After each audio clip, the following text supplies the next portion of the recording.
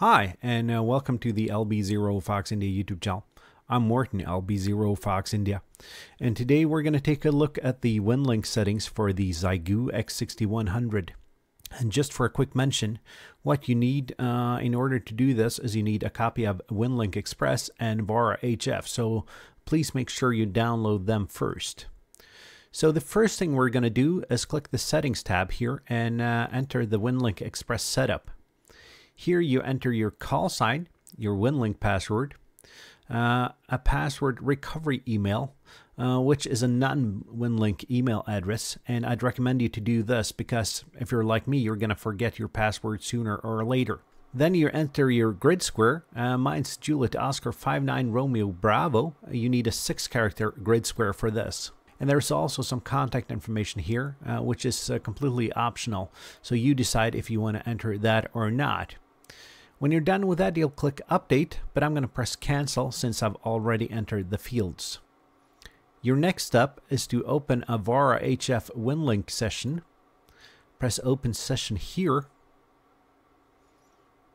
And then your VARA window is going to open up, or your WinLink session uh, window is going to open up to put it more correctly. For your radio settings, you press Settings and Radio Setup.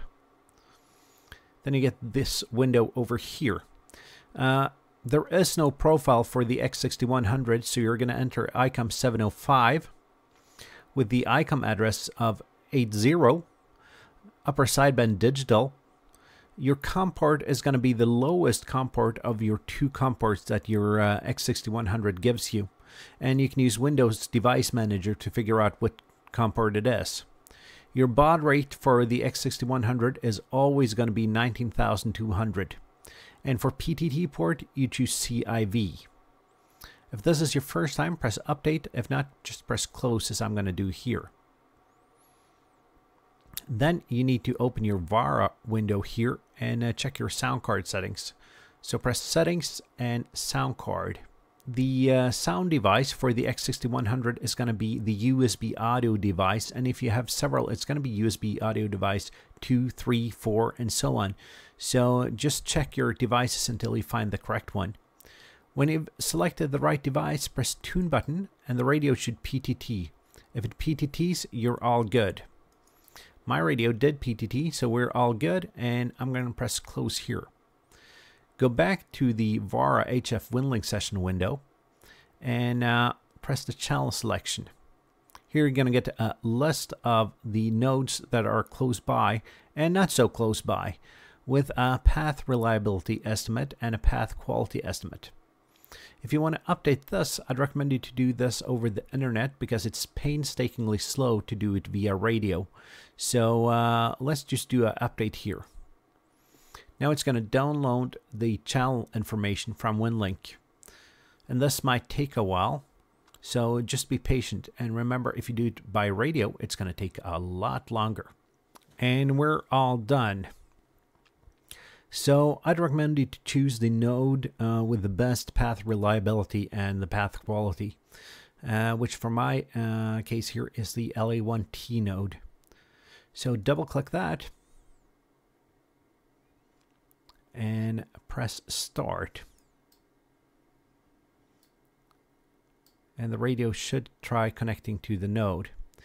And as you can see, there is 15 attempts to uh, try to connect to the node. Might take a couple of attempts depending on uh, on your propagation, on your radio power, and so on. And if you're using the free trial version of VARA, you get a press continue to evaluate here. So what happens now in the WinLink session window is that you're going to get a little bit of information from the WinLink node. And then it's going to check for new messages and download this and perhaps upload some messages you have saved in your outbox. And depending on the message size, this might, might also take a while. So just be patient while you're doing this. This is not broadband internet over fiber. And as you can see, there's one message. So we'll download that and uh, we'll see what it says. And you can see the progress here, how far it's gone with the download.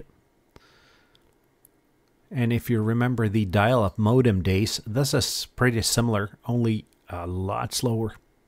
A good advice on WinLink is just keep it as short as possible while doing this, because it takes a while.